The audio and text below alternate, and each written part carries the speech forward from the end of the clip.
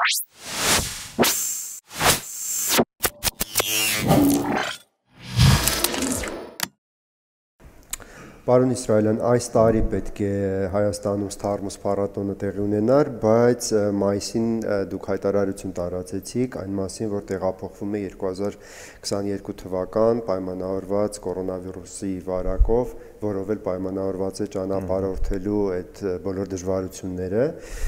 Արդյոք վստահություն ունեք, որ 2022-ին կկայանա Հայաստանում Սթարմուսը։ 90%-ով ունեմ այդ վստահությունը, որտեղ ինձ թվում է կորոնավիրուսը ձմեռվանից հետո արդեն եթե նույնիսկ չվերանա, արդեն ամենակիչը կիմանան թե ոնց իրեն պահեն բանի մեջ, որ թե միջազգային թռիչքները շարունակվեն ավելի ստաբիլանա թռիչքները, թե այդ մարդկանց ստուգումներ կամ թե վակցինացիան, այդ ամեն ինչը կստաբիլանա ուղղակի ու կգան ինչ որ որոշման, ինչ որ լուծումների, ինչ որ բանաձևերի, որոնք մյուս տարը կսկսեն գործել ու կարող է մյուս տարվանից հետո շարունակեն գործել, բայց ամեն դեպքում ինչ որ ստաբիլ որոշումների կգան։ Այս այս տարի նախատեսված էր սեպտեմբերին, հաջորդ տարի էլի սեպտեմբերն է այդպես որպես մշակել։ Էլի սեպտեմբերն ենք որոշել, որտեվ ուզում ենք որ դպրոցները, համասարանները բաց լինեն, որ ներգրավենք ուսանողներին, դպրոցականներին, որտեվ ստարմուսի ժամանակ մեծ երկու մասով ստարմուս կա։ Մի մասը, որ կենտրոնանում է այնտեղ, որտեղ հիմնական կոնֆերանսն են կանում, ու երկրորդ մասը դա կոչվում է քաղաքի ծրագիր, որ համասարանը, այդ տեխնիկական համասարանը, պոլիտեխնիկ ինստիտուտը, երևի Թումոյի կենտրոնը ու ստեղծում ենք, որ կոչվում է Ստարմուսի ճամբար, Ստարմուսի ճամբար,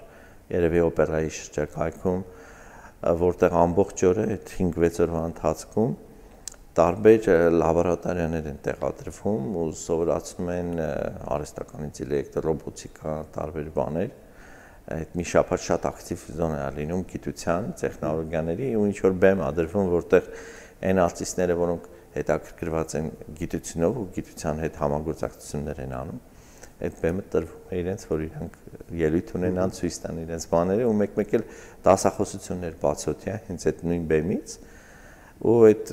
մի շաբաթ այդ ճամբարը տենց ակտիվ աշխատում է ամբողջ օր ժողովուրդը միշտ գալիս են տեսնում են ինչը շատ շատ հետաքրքիր է անցնում մենք նման փորձ ունենք արդեն Նորվեգիայում արել ենք այդ ձև Այսինքն ոնց որ քաղաքը ապրում է նաև գիտությամբ այդ այդ մի շաբաթվա ընթացքում նախ ուզում ենք մի հատ որ Հայաստանը տեսնեն թե ինչ է նշանակում գիտության փառատոն, որտեղ մեր մոտ ոչ մի անգամ գիտական փառատոն չի արվել։ Դարապես այդ գիտական փառատոն ասածը Եվրոպայում, Միացյալ Նահանգներում շատ կա, Ավստրալիայում են անում, Չինաստանն է սկսել անել գիտական փառատոններ, որ Ռուսաստանն էլ այս վերջի 2-3 տարիներին սովորել է Մոսկվայի համալսարանն անում ու փորձում են Սիբիրում, Նավասիբիրսկում անցկացնեն։ mm -hmm շատ տարածված, որ դրա ամբողջ գաղափարը նա է, որ ժողովրդին մոտեցնեն գիտությանը։ Հիմա ինչ ձևով կմոտեցնեք, ինչ բանաձևեր, ինչ մեքենաներ, ինչեր կօգտագործեք, որ այդ մոտեցումը մերձեցումը արվեն, արդեն կախված է կազմակերպողներից, իրենց լավ իդեաներ ունեն, թե ոնց են անում, ամեն ինչ դրանից է կախված բայց դա ինձ համար շատ շատ ֆունդամենտալ բան, շատ ճիշտ բան է, որովհետև անգրագետ ժողովրդից վտանգավոր ու վատ ման երևի չկա։ Ստարմուսը միշտ առանձնանում է նրանով, որ առնվազն մի քանի Նոբելյան մրցանակակիր է մասնակցում, եթե չեմ սխալվում, փառատոններ եք ունեցել, որ մինչև 10 Նոբելյան մրցանակակիր եք ունեցել, արդյոք կան նախնական պայմանավորվածություններ, որ Հայաստանյան Ստարմուսում եւս Նոբելյան մրցանակակիրներ կլինեն եւ մարդիկ նաեւ այդ քաղաքային միջոցառումների ընթացքում հնարավորություն կունենան որոշակի շփում ունենալ իրենց հետ։ Անպայման մենք արդեն 10 Նոբել մրցանակակիրների հետ պայմանավորվածություն ունենք Հայաստանի համար ու մենք չենք մենք չենք ուզում որ այդ հայտնի գիտնականները փակվեն ինչ որ միտեղ կոնկրետ համալիրը կլինի թե որտեղ այլ իրենց ոնց որ ասած ծրում ենք ամբողջ քաղաքով տանում ենք դպրոցները, նամանավանդ աստղագնացներ, կոսմոնավտներ, ռուս, NASA-ի աստղագնացներ, իրենց տանում ենք դպրոցները, համասարաններ, այնտեղ կլոր սեղաններ են կազմակերպում, դասախոսություն են կարդում։ Այդ մի շաբաթվա ընթացքում մեր այդ ամբողջ թիմը կամ գոնե այդ թիմի 70%-ը ինձ թվում է մոտ 30-40 հյուրեր կմասնակցեն քաղաքի տարբեր ակտիվությունների, նույնիսկ իրենց երևի Գյումրի տարվի։ Գյումրի կամ Դիլիջան, Երևանից դուրս էլ ինչ որ բաներ արվի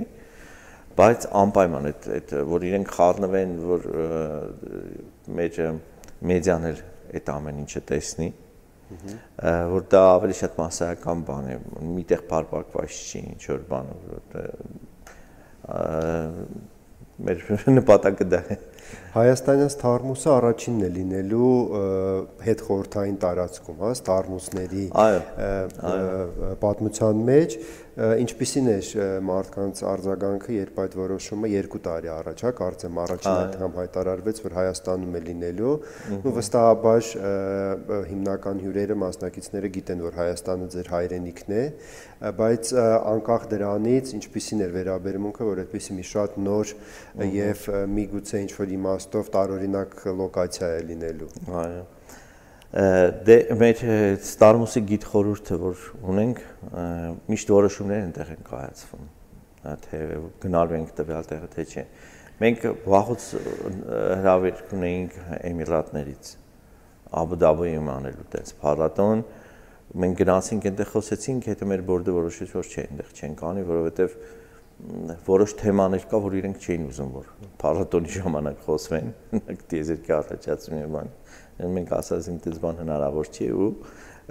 Էմիրատներում չարեցինք փառատոն։ Հետո Ռուսաստանից հրավերքներ եղան վերջերս ու մեր բորդը դրան էլ չհամաձայնվեց ինչ-ինչ պատճառներով, կիսակական կիսաբան ու բայց Հայաստանի փառատոնին շատ դրական էր նախ բարձային ֆակտորը այստեղ շատ կարևոր է որովհետև ես ինձ ճիշտ ներկայացրեցի Հայաստանը այնպես ինչ որ ոնց որ պետք է ներկայացնել Հայաստանը որ ու քանի որ որոշ մարդիկ էլ եղել էին արդեն Հայաստանում ու մեր նախագահի այդ հրավերքը ինքը որ Ցյուրիխում մասնակցեց Ստարմուս փառատոնին ու հրավերքը նախագահից հենց եղավ իհարկե մենք նախորդ խոսեցինք եւ այլ եւ այլը բայց դա դա էլ շատ մեծ ազդեցություն թողեց այն փաստը որ Հայաստանի նախագահը մասնագիտությամբ ֆիզիկոս է, աստրոֆիզիկոս է եւ լուրջ գիտնական է եղել, դա շատ մեծ ազդեցություն ունեցավ, որովհետեւ թե մեր բորդի անդամները, թե բանի անդամները, թե մասնակիցները շատ շատ տպավորված էին այդ փաստով, որ երկրում քաղաքական մեծ դեմքը կարող է գիտությանը տենց սերտ կապ ունենա եւ ամեն ինչ անի, որ գիտությունը, կրթությունը եւ այլը դառնան ոնց որ առաջի կարևոր բան տվյալ երկրում ու դա շատ կարևոր դեր խաղաց ու ես նաև շատ ուրախ եի որ իմ հանդիպումները որ առաջի անգամ մեր կառավարության հետ հանդիպեցի վարչապետի հետ եւ նախարարների հետ շատ դրական էին էլի շատ արագ մի անգամից ըմբռնեցին թե ինչ փառատոնի մասն է խոսքը ինչա կարևոր Հայաստանի համար այդ իրար հասկանալու այդ բանը շատ շատ արագ եղավ ու շատ շատ դրական էր որ համ նախագահի կողմից համ կառավարության կողմից ոնց որ ասած նույն բանը մենք ստացանք, նույն տպավորությունը ու որոշեցինք որ շատ-շատ լավ փառատոն պետք է անենք Հայաստանում։ Թեման Մարսն է, եթե եթե չի փոխվել, ինչու ինչու եք հատկապես Մարսի թեման ընտրել այս հերթական, այսինքն 6-րդ Ստարմուսի համար։ Դրան երկու պատճառ կա։ Առաջինը նա էր, որ մեր վերջի փառատոնը նվիրված էր լուսին իջնելու 50-ամյակին Apollo 11-ի 50-ամյակին ու մեզ པարզ էր որ հիմա 2020 թվից հետո մենք մտնում ենք նոր փուլ, որ Մարսի փուլ է կոչվում, որ տեզերական տեխնոլոգիաները լրիվ իրենց զարգացման վեկտորը ուղղված է դեպի Մարս։ Իհարկե դա եղավ, դա սկսվեց Իլոն Մասկից, գիտեք որ ինքը այդ ամեն ինչը բանարեց, ինքը տարապես SpaceX-ը դրեց ու ահիթներ որ իրան երազանքն է որ ինքը պետք է մարսի չասնի մարդկանց ու ժամկետը չդրեց 100 տարի ժամկետը դրեց 10-15 տարի որ մարդկանց համար ֆանտաստիկա էր բայց մի քանի տարի հետո պարզվեց որ դա ֆանտաստիկա չի իրոք այդ քայլերը արվում են ու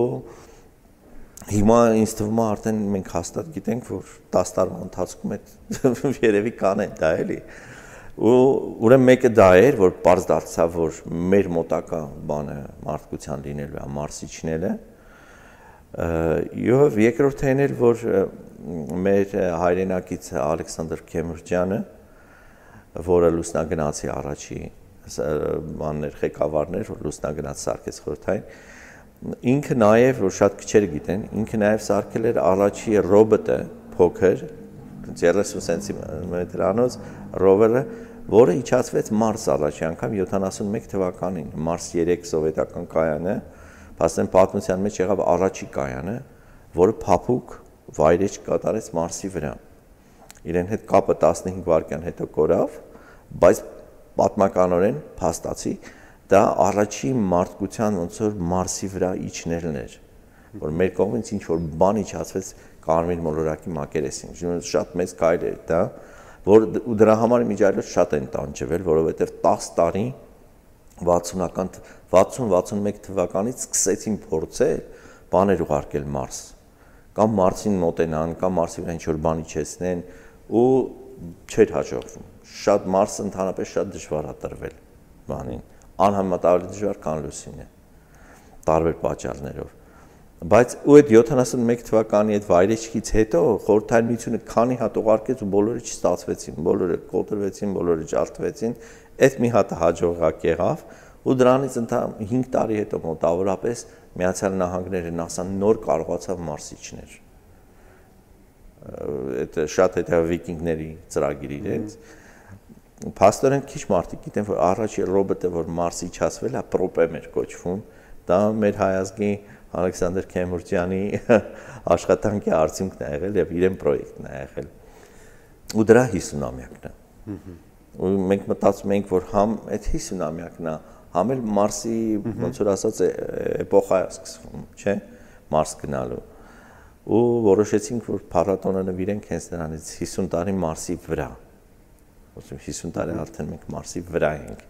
Դուք Իլոն Մասկին հիշատակեցիք, ես ինքս եի ուզում հարցնել, հաշվի առնելով, որ թեման Մարսն է լինելու Ստարմուսի, որոշակի մասնակցություն ինքը իր ընկերությունները կարող են ունենալ Այո, այո, կարող են ունենալ ամեն ինչ հնարավոր է։ Բայց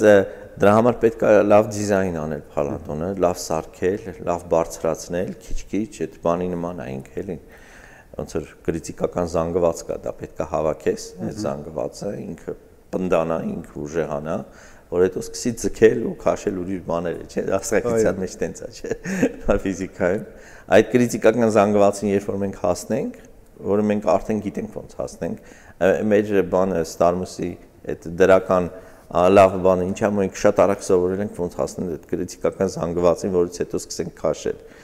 տարբեր այդ celebrity կոչված այդ բաները էլի։ Իսկ բուն նախապատրաստական աշխատանքը երբ է մեկնարկելու։ Մենք արդեն հիմա սկսեցինք։ Հիմա մեր թիմով եկել էինք Հայաստան, մեր պրոդյուսերի հետ, մենեջերի հետ ու սկսեցինք արդեն հանդիպումները թե ներգրավելը տեղական մեր Հայաստանի սպոնսորներին, թե կառավարությանը սկսեցինք աշխատել, ու սկսեցինք ճանաչել մի տեսակ ոնց որ դաշտ է էլի այդտեղ համալիրից սկսած տարբեր տեղեր գնալ եւ այլ եւ այլ բայց մի տարի առաջ պետք է սկսել արդեն աշխատել որտեվ այնց մեծ բանը չես կարող 5 ամսում անես կամ 4 ամսում արդեն արդեն սկսել ենք աշխատել Կարմիր թելի պատրաստումը բավական ժամանակատար է։ Պետք է ուսումնասիրել զրուցակցի նախքին հարցազրույցները, առանձնացնել թեմաները, ընտրել նկարահանման վայրը, ուստի խանութ այցելելու ժամանակ չի մնում։ Բայց սիրելի խանութը օգնում է կատարել գնումը առանց ժամանակ վատնելու։ Արարատ թանգարանի on-line խանութը ոչ միայն առաջարկում է Արարատ կոնյակների ողջ հարուստ տեսականին, այլև ունի հատուկ առաջարկներ։ Մի քանի քայլ կատարելով կարող ենք պատվեր ձևակերպել։ Այսօր ես կընտրեմ աղթամար։ Պատվերը կատարված է, իսկ տնտեսած ժամանակը կարող եմ օգտագործել առաջիկա զրույցին պատրաստվելու համար։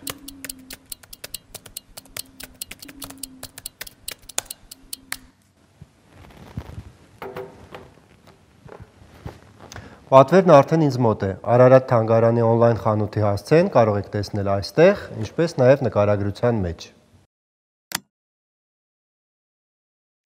Հայաստանում շատերին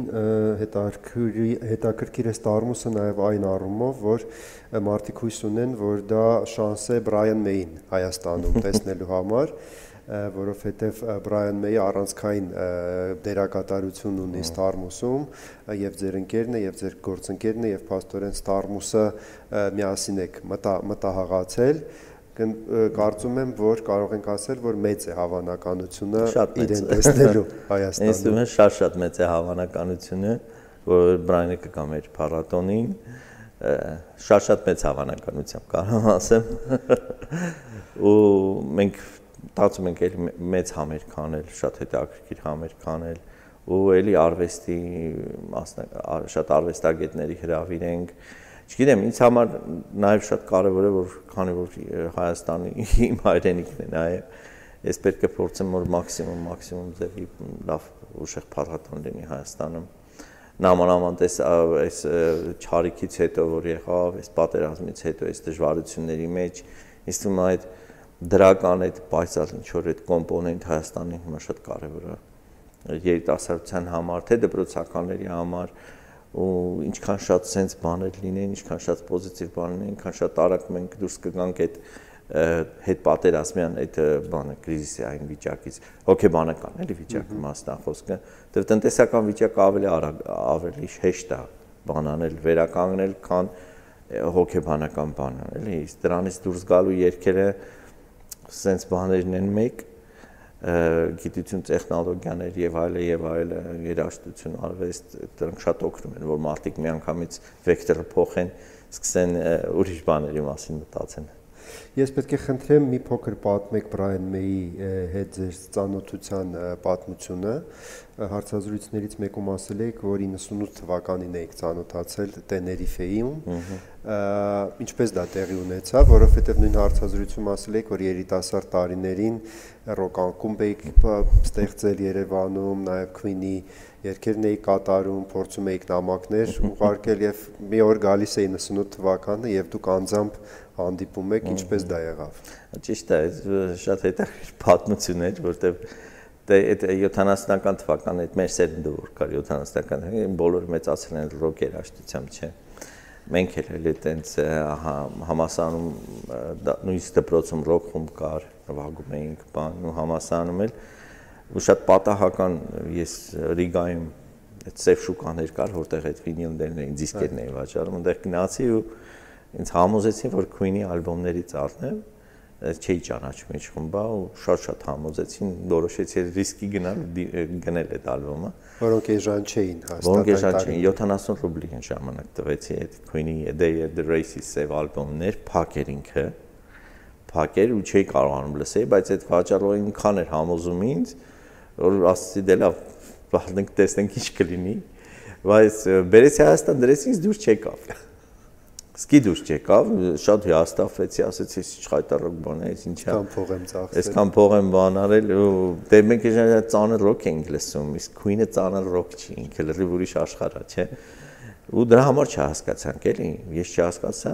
բայց քանի որ այդ ալբոմը տենց դրած էր, ես մեկ-մեկ դնում էի, ասում էի, որ դասերի պարապում բան դնում էի, տենց Այդ ինչ որ մի երկ հավանեցի, հետո պատահական երկրորդ երկ ինչ որ հավանեցի, տենց քիչ-քիչ մոտ ամիսներ տևեց, մինչև ես այդ ալբոմը լրիվ լսեցի։ Բայց հետո որ սովորեցի, զգացի որ լրիվ ուրիշ ուրիշ աշխարհի հետ գործ ունենք ու տենց ընկերները սկսեցին լսել եւ այլ եւ այլը ու սկսեցին Queen-ի դիսկացիկաներ կազմակերպել, որ համասարանում էի ամբողջ դիսկացիկան Queen-ի հետ նվիրված։ Ու մենք նամակ էինք նույնիսկ ընկերոջս հետ գրել, ես ու ընկերս Queen Fan Club կար Լոնդոնում, Brian May-ին, որ գիտենք ինքը աստրոֆիզիկոս է նամակ գրեցինք, ուղարկեցինք post-ից, որ պետք է իրեն հասներ իբր թե Աստված գիտե դա նամակ ինչ era։ Ու հետո տես տարիներ որ անցան, որ ես Թեներիֆում սկսեցի աշխատել, ես հիշեցի մի այնտեղ, որ Brian May այստեղ աշխատել ա մի տարի, երկու տարի, երբ որ ինքը PhD էր անում։ Ու բայց էլի մոռացա այդ մասին հետո ես մի հատ հետաքրքիր հոդված էի արել աստղագիտական, որից տենց իդե առաջացավ որ կարելի է ֆիլմ նկարահանել ու շատ կարճ բան գրեցինք այդ ֆիլմի մասին, պատմություն ինչ ալինել։ Տվեցինք մեր տնորենին, ասինք եթե ճանաչում ես տենց մարդիկ, որում կարող է հետաքրքրվել, ինքը ասեց, հա ես Բրայն Մեին լավ եմ ճանաչում, ես մի անգամ ասած ու հետո ինքը հիշացրեց, բայց չգիտեք ինքը ստեղ ա եղել եւ այլ եւ այլն։ ասեց ես հիմա իրեն կուղարկեմ, եթե իրեն հետաքրքրի, ինքը կզանգի։ Ու դու երկու շաբաթ հետո զանգեցին, ասեցին, գիտեք, Բրայն մեի զանգել է, ուզում եմ ձեզ հետ խոսի։ Շոկի մեջ է, ասեմ ոնց։ Ու զանգեցին, ինքը զանգեց, ու խոսեցինք հերախոսով, ես չեն քրտանել էի, բանը չէի պատկերացնում Բրայն մեի հետ խոսում էլի ու ասեց որ գալու է Տեներիֆե, ուզում եմ հանդիպենք, քննարկենք այդ բանը, այդ ֆիլմի։ Տենց եկավ էլի այդ առաջի հանդիպումն էլ էլի տենց քրտնած մի կերպ շատ դժվար էր։ Այդ հանդիպումը ոչ չես պատկերացնում էր կոյիդովներից մեկը հանկարծ հանդիպում էր, չէ։ Ահա, տենց հանդիպեցինք ու շատ լավ իրար հասկացանք, շատ արագ մի անգամից ոնց որ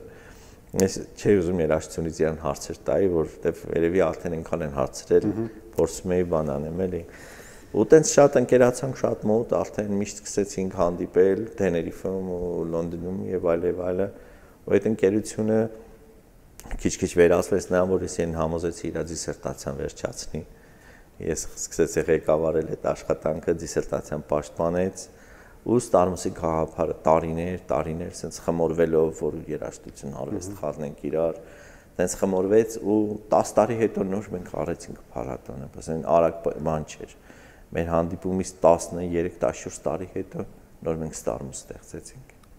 Ես առիթից օգտվելով ես դες պետք է շնորհակալություն հայտնել, քանի որ ձեր ձեր շնորհիվ ես էլ եմ այդ պատիվը ունեցել Brian May-ին հանդիպելու, հիշում եք, որ 2009 թվականին Armenia Grateful to Rock ծրագիրն էինք անում եւ հրավիրում էինք այն երաժիշտներին, որոնք Rock-Aid Armenia-ին մասնակցել էին, ձեր օգնությամբ կապ հաստատեցինք նաեւ Brian May-ի հետ, իր ժամանակացույցի առումով չստացվեց 2009-ին գալը, 2010-ին, երբ որ այդ Armenia Grateful to Rock-ի շրջանակում Յան Գիլանը եւ Թոնի Այոմին նոր երգ էին ձայնագրում Լոնդոնում, ես այնտեղ էի եւ այնպես ստացվեց, որ կարողացան կազմակերպել մեր դեսպանությունում իր շքանշանի հանձնումը եւ այդ որ նկարագրում եք, այդպես քրտնած հայես էլ մեր դեսպանության մուտքի մոտ սպասում էի, երբ պիտի մեքենան գա, ինքը մեքենայից դուրս գա եւ այդ երևի 30-40 րոպեն միասին որ անցկացրեցինք ինչեվ հիմա շատ լավ հիշում եմ ամեն մի դրվագը ուստի ես էլ ինչպես շատ շատերը սպասում եմ Starmus-ին եւ եւ Brian May-ին Պարոն Իսրայելյան ուզում եմ մի այսպիսի հարց տալ քանի որ Starmus-ը միշտ տիեզերքը ոնց որ Starmus-ի հիմնական թեմաներից է այս տպավորություն ունեմ որ այսօր տիեզերքը մի կողմից ոնց որ ավելի հասանելի է դառնում, հա, այս վերջերս տեսանք այդ Ռիչարդ Բրենսոնի այդ թռիչքները, որոնք մարդիկ վիճում են արդյոք դա կարելի է տիեզերք համարել կամ նախա տիեզերք, բայց կարծես այդ տիեզերքի խորհրդավորությունը մի փոքր մի փոքր կորչում է այդ տեխնոլոգիաների շնորհիվ, որոնք ոնց որ ավելի հասանելի են դարձնում։ Իսկն եւ առավելություններ կան եւ ինչ որ բան կորչում է, դուք ինչպես եք դրան նայում էլի տիեզերքի ընկալումը սովորական մարդու կողմից։ Այդ հարցը շատ նման է մի մի հարցի, որ տվեցին Ջիլ Տարտերին, մեր այդ բորդի անդամներից մեկին, որը ալմորակային քաղաքացիությունների մասնագետն է, կարելի ասել պիոներն է։ Իրանով էր սկսել այդ կոնտակտ ֆիլմ կար Ջոդի Ֆոստերի խաղում էր, ինքը այդ ֆիլմը իրեն մասին էր, Ջիլ Տարտերի մասին էր ու իրեն հարցրեցին, ասացին ինչ է կարծում ալմորորակային քաղաքակրթությունների թեման, ժողովուրդը շատ բան։ Ինքը ասեց, գիտեք, ասեց, արդեն այնքան են ֆիլմերում ցույց տալիս այդ ալմորորակայիններին, այնքան բան, որ արդեն մարդկանց դա չի զարմացնում ու շատ հնարավոր է որ մի օր այդ ալմորակայինները գան, էլ ոչ մեկ չզարմանա։ Ուղղակի արդեն այնքան հագեցրեցին այդ թեման, ու երևի այդ նման հարցեր է դա էլի, դեզերքի հարցը հիմա այնքան են հագեցնելու, բայց այստեղ ուրիշ էֆեկտ կա ինձ թվում է որ այս աստրոտուրիզմը ինչքան շատ մարդ սկսեն թռնել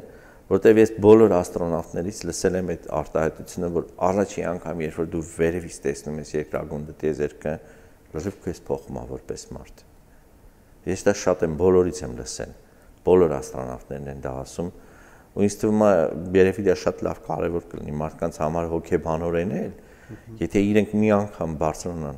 վերևից տեսնեն երկրագունդը, կարևոր չի 100 կիլոմետր կբարձրանան, թե 150 կիլոմետր, թե 500 կիլոմետր, ամեն դեպքում դու արդեն երկրի կորությունն ես տեսնում, այդ սև տիեզերքներ ես տեսնում։ Այսինքն հերավորությունը այդքան բան չի էլի այդտեղ բայց այդ բանը շատ տպավորիչ է ես շատ եմ լսել ինձ թվում է դա փոխում է մարդուն ու լավ կլիներ ինչի թող մարդիկ թռնեն փոխվեն մի քիչ ավելի հասկանան թե երկրագունդը ինչքան փոքր բան է թե իրենց կյանքը ինչքան արագ անցնում ու մի քիչ սկսեն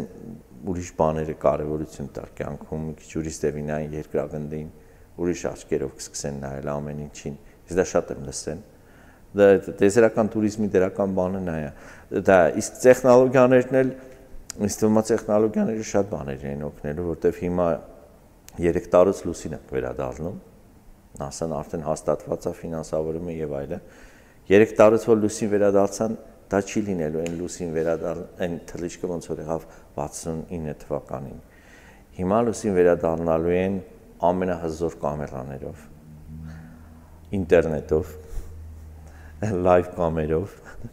եւ ամեն ամեն ամեն նոր տեխնոլոգիաներով ու մարդիկ սկսելու են այդ լուսինը տեսնել այնց ոնց որ մենք երբեք չենք տեսել ու չենք զգացել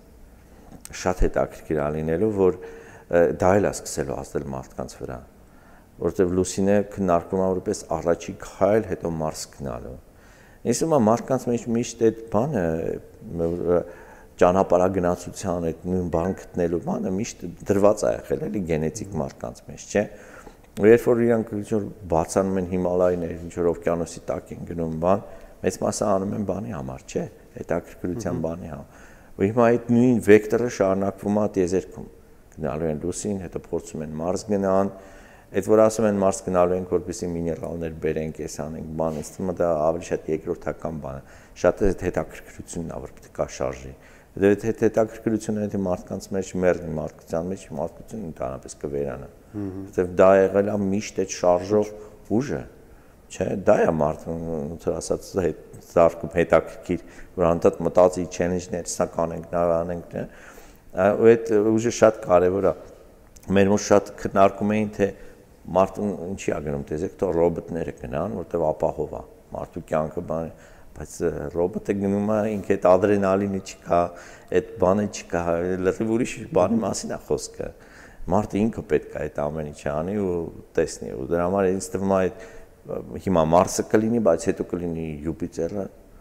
հետո կլինի երևի Սատուրնը, իրենց արբանյակները, շատ հետաքրքիր բանի էտապ է սկսվելու, որ մարդիկ սկսեն արեգակնային համակարգության մոլորակները գնան ու անձամբ իրեն գնան հենց բաներով գնան դա շատ ահավոր հետաքրքիր էպոխա է այլ ոնց որ սկսվելու ու թող սկսվի ինչ ասեմ որովհետև ավելի լավ է մարդիկությունը իրենց գումարները իրենց էներգիան ամեն ինչը ծախսեն այդ հետազոտական բանի վրա, որը տեխնոլոգիաներն է զարգացնում, որը կյանքն է լավացնելու երկրի վրա, քան պատերազմներ իրար կոտորելու կամ չգիտեմ, այս հետ գնալ Թալիբաններ, մաներ մարդը հավատի չի գալու որ 21-րդ դարում ենք ապրում։ Դուք լեգենդար դիեզերագրածների հետ եք շփվել Ալեքսեյ Լեոնովի, որը առաջին մարդն էր, որ բաց դիեզերք էր դուրս եկել, Նիլ Արմստրոնգի, որը առաջին մարդն էր, որ լուսին էր ոտք դրել։ Կա ինչ որ մի բան, որը պատմել են ձեզ եւ այդպես տպավորվել է եւ միշտ կհիշեք։ Հա, շատ կանոնակ Նիլ Ամստրոնգի հետ մենք Լապալմայում մեզ մոտ կլոր սեղան էինք կազմակերպել։ Կլոր սեղանից հետո մենք ճաշկերույթ արեցինք, ընթրիք էր երեկոյան։ Այդ սեղանին նստել էր Ամստրոնգը, Բրայան Մեյը, ես էի Լեոնովներ ու Ապոլո 13 ֆիլմ կա Ջիմ Լովելը դրա բանը ու Ջիմ Լովելն է նստած։ Մենք ու այդ Լապալմայի գինիով, բանով քանի ժամ ու մենք գիտենք որ Ամստրոնգը ընդհանրապես չէր սիրում խոսալ լուսնի գնալու մասին։ Այդ թեման ինքը մի շրջանցում էր, չէր պատմում, էլի։ Լեոնովը հաճույքով էր պատմում իրենը տալաչի բանը, Ջիմ Լովելն էր խնդիր չուներ, բայց Ամստրոնգը չէր խոսում։ Մենք էլ մի շաբաթ, երկու շաբաթ sense համբերեցինք, երբ որ մի քանի բաժակ արդեն խմել էին, վերջը Բրայանը ռիսկ արեց հարցնի։ Շուրը կա ուղիղ հարցը տվեց։ Ասես, բայց դե լավ ինչ կզգացի, որ առաջի անգամ ոտը դրեցիք լուսնի վրա։ Ես ես վախեցած նայեցի, ասեցի Սամստրոնգը բան անելու, բայց չէ, ինքը թեքվեց ու մի անգամից սկսեց պատմել։ Ու որ ինքը տենց ողջորված սկսեց պատմել, մենք բոլորս էլ քարս, դե Լիոնովն էլ, բան, մենք բոլորը զարմացանք ու սկսեցինք լսել ուշադիր։ Ու ինքը պատմեց այդ առաջի իր զգացմունքը, դե ոնց ոդկը դնելիս ինքը չգիտեր ոդը ինչի վրա դրում, որովհետև չգիտեր այդ փոշին ինչքան խորն է։ Ճիշտ է, բանը իջել էր այդ, բայց այնտեղ դու չգիտես ինչքան խորն է իջել, ու չգիտես ինչի վրա կանգնած ու որ պատմում էր թե ինչ զգացմունք էր առաջի անգամ ֆոտո դնելուց այդ փոշին որ բարձացա վերև դե ձգողական դաշտը թույլ է չէ լուսնի վրա որտե շատ-շատ հետաքրքիր էր մենք սենց բանի մեջ լսում էինք էլ իրեն այդ դա շատ տպավորվեց շատ որտեվ առաջի լուսինի չես մաստը քեզ պատմում է թե ոնց է եղել ու տենց տենց նման պատմությունները շատ շատ Star-Mus-ին տենց բաներ շատ են պատահում Ստիվեն Հոքինգն էր ինչ որ բան պատմում որ 10 ժամ տևում է միջև պատմում է դանդաղ բայց էլի նման չափ տպավորիչ որովհետև իրա կողմից մի բան պատմելը որ դա երկար է տևում լրիվ ուրիշ աստեցությունակ վրա թողնում Լեոնովը, որ միշտ պատմում էր թե ինչի մերոնք լուսին չիչան, ոնց եղավ որ ամերիկացիները, հետո ինքը ինչ ասեց Բրեժնևին եւ այլ եւ այլ այդ պատմությունները։ Շատ ինձ թվում է մենք պետքա ձայնագրեինք այդ ամեն ինչը, բայց մտքները ոչ չեն անցնում։ Շատ շնորհակալ եմ պարոն Իսրայելյան եւ հույս ունենանք, որ ոչինչ չի խանգարի, որ 22 թվականին իրոք այդ մեծ իրադարձությունը Սթարմուսը գա Հայաստան։ Շնորհակալություն։ Ես էլ հույս ունեմ, Ինձ թվում է ոչինչ չի խանգարում, մենք կանենք անպայման։ Շնորհակալություն։ Շնորհակալություն։